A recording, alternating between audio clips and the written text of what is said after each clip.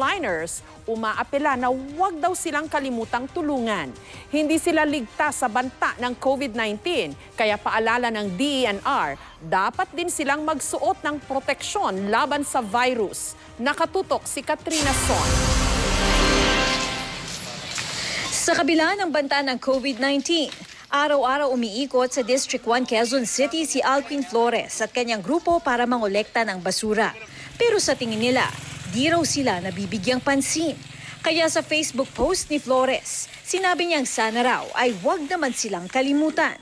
Itinuturing din daw nila ang sarili nilang mga frontliner dahil sa kanilang trabaho. sa kabila ng pagkakaroon natin ng pandemic ngayon, yung virus na COVID-19, eh, tuloy pa rin po yung pagsiservisyo namin sa bayan po. Aminado rin siyang natatakot din siya at kanyang mga kasamahan na baka magka-COVID-19 dahil sa kanilang trabaho. Lalo pa at kulang na kulang daw sila sa mga kagamitan. Wala pong nakakaalam, baka sa pag-uwi namin, bitbit na namin yung virus na yan. eh. Pero iniisip na lang daw nila na ang kanilang trabaho ay ambag nila sa lipunan. Ganito rin ang hinaing ng iba pang mga basurero sa Quezon City. Marami sa kanila ang kulang o halos walang proteksyon sa katawan laban sa pangongolekta ng basura. Madalas, sinisingit pa ang pagkain sa pangongolekta ng basura. Hindi po eh. Kaysa naman po walang makain. Nagugutom na po kasi ako eh. Oh, binigay naman po sa amin yun ng, ano, ng residente doon. Kinalakihan ko, basura na talaga eh. Ayon naman kay Federico de la Peña, driver ng dump truck, dalawang set ng gloves lang ang ibinigay sa kanila at kanya-kanya silang diskarte para sa face mask. Sa basura nga po pinakamatinding virus, hindi namin alam kung saan ano yun. eh. Minsan eh, nakaka, ano kami, nakakahakot kami mga, ano, yung mga may sakit na.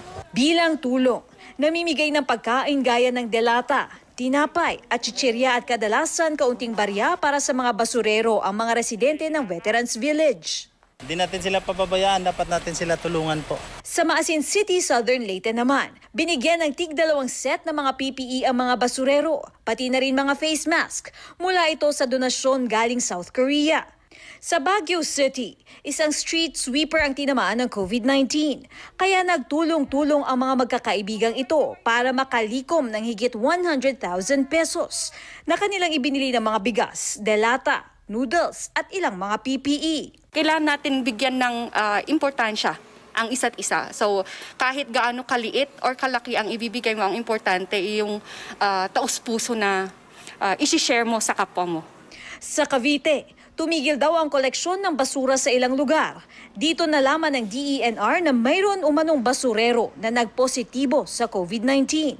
Hindi pa raw nila alam ang buong detalye ukol rito, pero agad daw silang maglalabas ng memo. hindi na pwedeng ipagwalang bahala to dahil mawawalang sa isa yung ah, enhanced ah, community quarantine na ginagawa natin dahil bumabiyahe mismo yung virus sa katawan mismo ng garbage collectors and doon sa garbage mismo. Aminado naman ang DENR na di raw madali ang paglalabas ng naturang memo, lalo pa at may mga jurisdiction din ang mga LGU sa mga ito.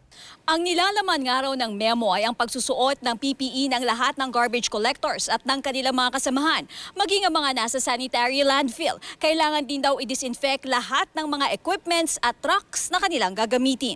Katrina Son nakatutok, 24 oras. Sa Pasig City,